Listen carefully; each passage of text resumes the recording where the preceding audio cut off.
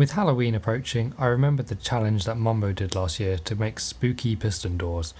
I thought I would give it a go and this is what I came up with.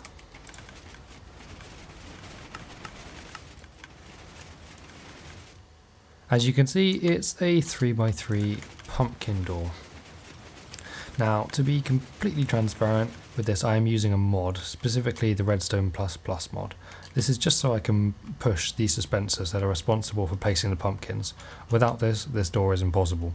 The actual placing of the pumpkins is completely possible within Vanilla Minecraft, and it works like this. When you have a dispenser with pumpkins in it, next to a couple of snow blocks, it can be used to spawn a snow golem. But for some reason it doesn't just check for um, snow blocks in this configuration, but many others too, such as this one. In this configuration, the snow blocks cannot spawn a snow golem, but the pumpkin is still placed, effectively just placing the block. So I take advantage of this in this door by pushing dispensers into the floor and snow into the ceiling. The dispensers are then powered by these observers in, that slid into the ceiling as well. So when this double extender happens, we'll get pumpkins in this top row because the observers will power them. In the second row, the um, the observers will power the pumpkins, budding the dispensers that are moved into the bud, so automatically updated.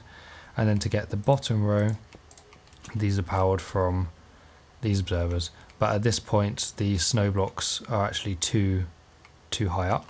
So we see here, this works in placing one, and this works. But up here, this will no longer be able to place the pumpkins, so we have to push the snow blocks down, which we do with these pistons here. So let's just check the door closing again. You see them pushing up. And if I do that from the other side, you'll be able to see the um, snow blocks being pushed around. Oops. Get pushed down so they can activate that one, and they get pushed, pulled back up and pushed back across. The opening is quite a bit easier. We just power the double extender again, which breaks the bottom two rows of pumpkins. Um, and then to get rid of the top row, we have this double extender, which gets rid of these two, and this single extender to get rid of this one. The reason why this is a, a weird sort of double extender thing that's offset into the wall is because these these observers will otherwise um, break this pumpkin when they're pushed back over in the end of the closing. Now, um, one thing, one other thing about this is I've got the do tile drops game game rule set to false because if it's set to true, then the pumpkin items when destroyed go absolutely everywhere. But in theory, these could be collected with hopper minecarts and reused. There are hoppers going into the dispensers here and here, and they're joined by minecarts on top.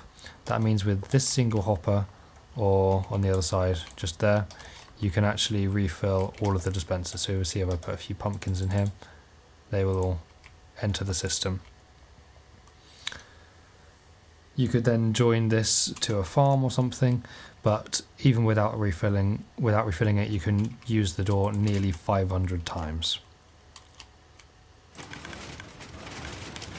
Now since this door is built in modded and is the only one of its type, the size isn't too important, but it's 15 long, 2 wide and 9 tall for a total of 270 blocks, which I think is actually pretty small. If anyone wants to have a go at improving it though, feel free, I'd be curious to see the results.